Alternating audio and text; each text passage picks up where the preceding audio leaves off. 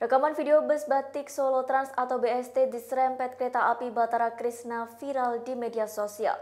Wali Kota Solo Gibran Raka Buming Raka turut berkomentar atas insiden bus BST terserempet KA Batara Krishna di Simpang 4 Gendengan, Solo, Jawa Tengah pada Sabtu 8 Mei 2021 sekira pukul 10 lewat 30 waktu Indonesia Barat.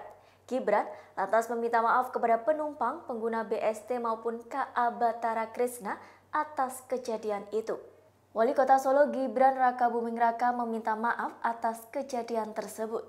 Gibran mengatakan keputusan kontraflow itu dibuat pejabat sebelumnya atau sebelum dirinya menjabat wali kota Solo.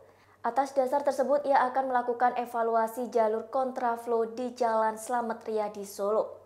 Sebelumnya viral video kecelakaan bus batik Solo Trans atau BST dan kereta api KA Batara Krishna. Satu di antaranya akun yang mengunggah video tersebut adalah Instagram @info Cegatan Sukoharjo.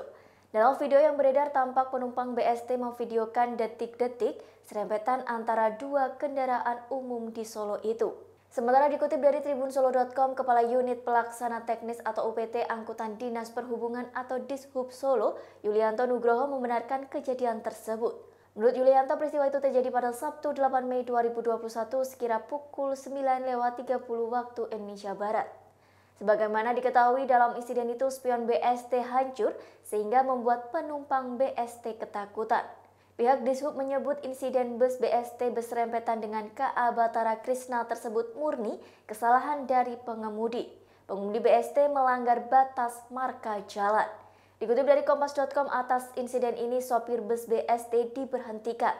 Gibran mengatakan alasan pengemudi bus BST diberhentikan karena kesalahan yang dilakukan masuk kategori berat. Pihaknya kini masih menunggu hasil perhitungan kerugian terkait insiden itu.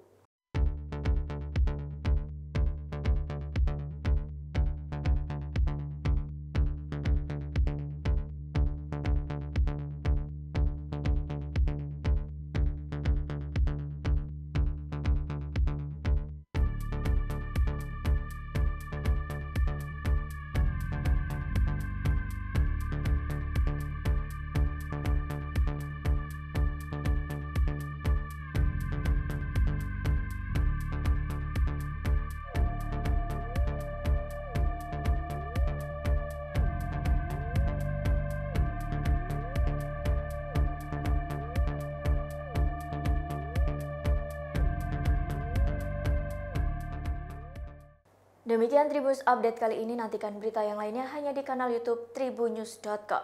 Terima kasih sudah nonton. Jangan lupa like, subscribe, dan share ya.